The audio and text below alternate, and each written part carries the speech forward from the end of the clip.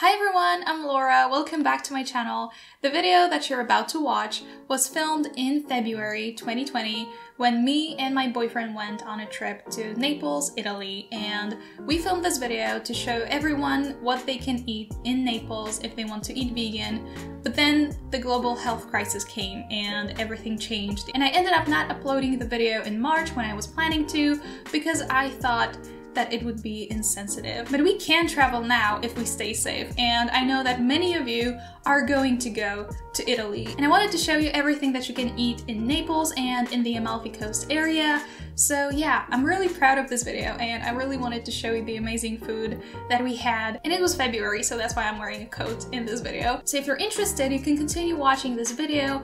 Please be respectful in the comments. You can follow me on Instagram if you want to see more of my daily life and of the food that I eat. You can subscribe to this channel if you haven't already. If you like the content that I'm making, you can become a patron of this channel and you can join my free Facebook group. All of the links are in the description and make sure to watch the whole video because I saved the best for last.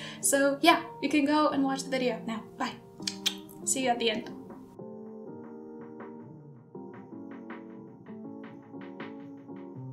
For our first lunch, we went to Officina Vegana and we ordered two paninis. We didn't know they were going to be so huge. I went for the frittata and potato filling and my boyfriend went for the tempeh filling and they were amazing. In Centro Storico, we went to Angelo for a coffee and a little snack. It's a great place if you're walking around the old town and you want to take a break and grab something sweet to eat. We got two soy cappuccinos and a croissant with raspberry jam, and that was a very good choice. Later, we went to dinner in Ciro a Santa Lucia. This place was recommended to us, and let's be real, when you go to Naples, everybody has their own favorite local pizza place, so instead of going to a touristy spot, we decided to go to Ciro a Santa Lucia, and our marinara napolitana was on point. Remember that unless the place has vegan cheese, you can always go for a marinara and it's going to be vegan and it's still going to be delicious.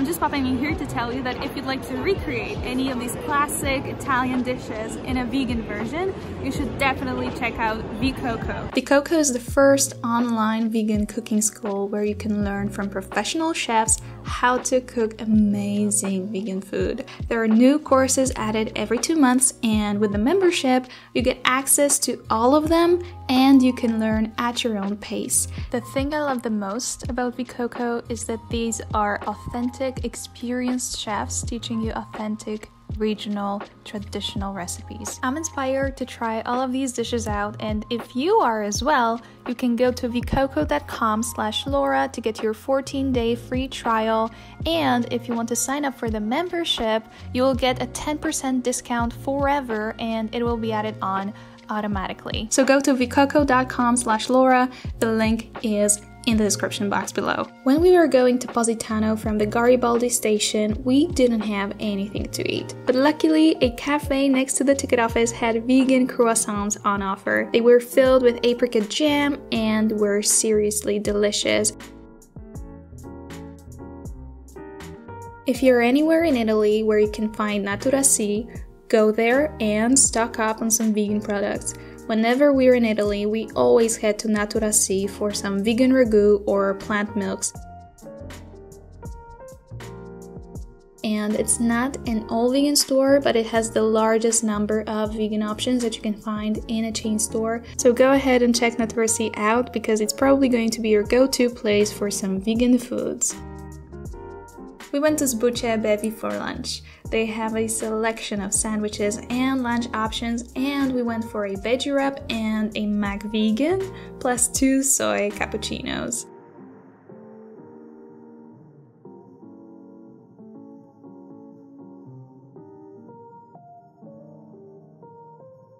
For dessert, we went for a millet cheesecake whose Italian name escapes me, and it's a traditional regional cheesecake type dessert in Naples during the carnival.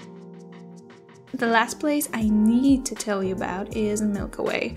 It is the first vegan pastry shop in Naples, and what they offer is unique in every sense of the word. We went there three times, three days in a row, and we would have gone there four times if they hadn't been closed on Mondays.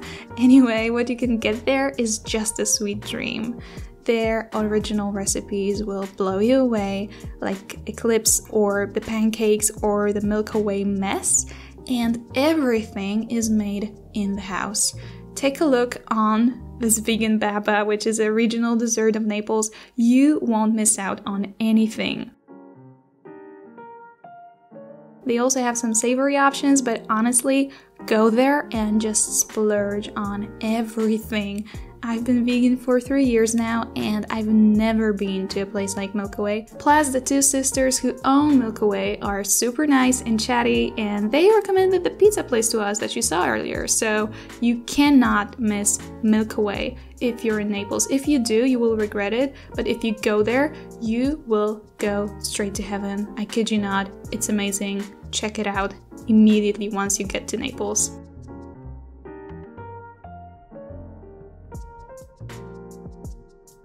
If you enjoyed this video and you'd like to see more vegan travel videos like this one, please like this video and subscribe to my channel and click the bell icon so that you're notified whenever I post. Also, comment down below which place you would like to go to in Naples. Remember to check out Vicoco as well. Thank you so much for watching. I'll see you in my next video. Ciao!